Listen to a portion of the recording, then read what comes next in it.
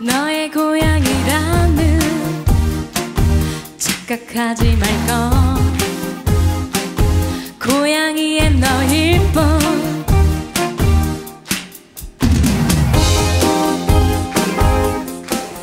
제 오른쪽에 앉아 있는 사람은요. 어, 그 뭐라 그럴까?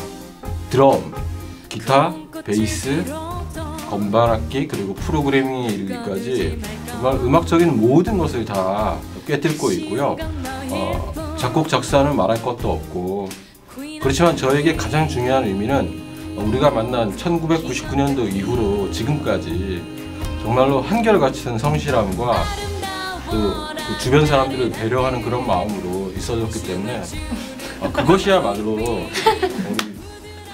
김상훈 군의 가장 특별한 가치가 아닐까 이렇게 생각을 해요. 맨 오른쪽에 계신 네. 건반 치는 한지원 씨인데요.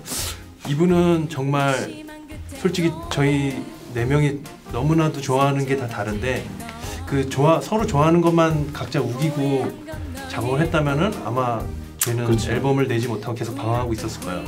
그런 방황하는 저희들을 음악적으로 잘 이끌어주고 감독해준 WN 웨일의 음악 감독이신 한지원 씨 건반도 같이 하고 계시죠? 소개해드리겠습니다. 감사합니다. 네. 아, 이제 제 옆에 계신 아리따운 아가씨를 소개해 드릴게요. 어, 일단 여러분 보셔서 알겠지만 제가 좀 이렇게 뒤로 갔으면 좋겠어요. 얼굴이 너무 작아서 얼굴도 작고 아우 이 가느다란 팔뚝과 이 어, 손목 허리도 굉장히 얇고요. 사실 이건 중요한 게 아니고요. 이렇게 여리여리한 몸매임에도 불구하고 무대에 올라서 노래할 때 보면은 목소리가 정말 이름이 웨일 고래 같아요. 그렇게 우렁찬 목소리를 뽑아내주는데요. 같은 팀이면서도 항상 이 목소리를 들을 때마다 저희는 감동을 받잖아요.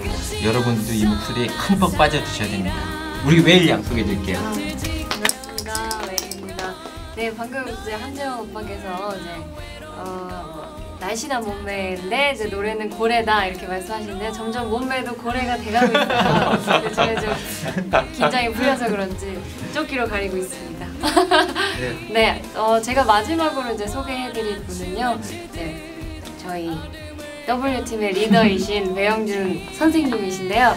제가 오빠라고 불러드리길 가장 원하시지만 전 그래도 끝까지 선생님이라고 부르고 있습니다. 네, 저희 WN 웨일에서 중요한 역할을 하고 계시죠. 항상 자상함으로 우리의 모난 구석들을 이렇게 채워주시고 또 이렇게 따뜻하게 감싸주는 또 우리 음, 우리 모두의 오빠이신 배영준 선생님. 아, 저 참 대단한 사람이었군요. 저는 몰랐어요.